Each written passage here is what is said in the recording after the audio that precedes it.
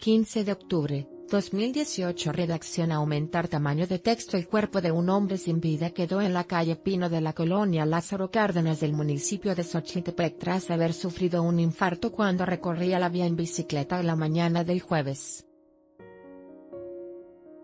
Al recibir el reporte, elementos de la policía Morelos y paramédicos acudieron al lugar para auxiliar a quien en vida respondía al nombre de David, de 46 años de edad pero no pudieron hacer mucho, ya había muerto.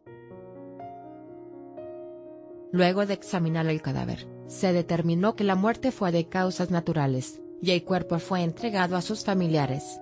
Foto especial. Visited 28 Times, 28 videos.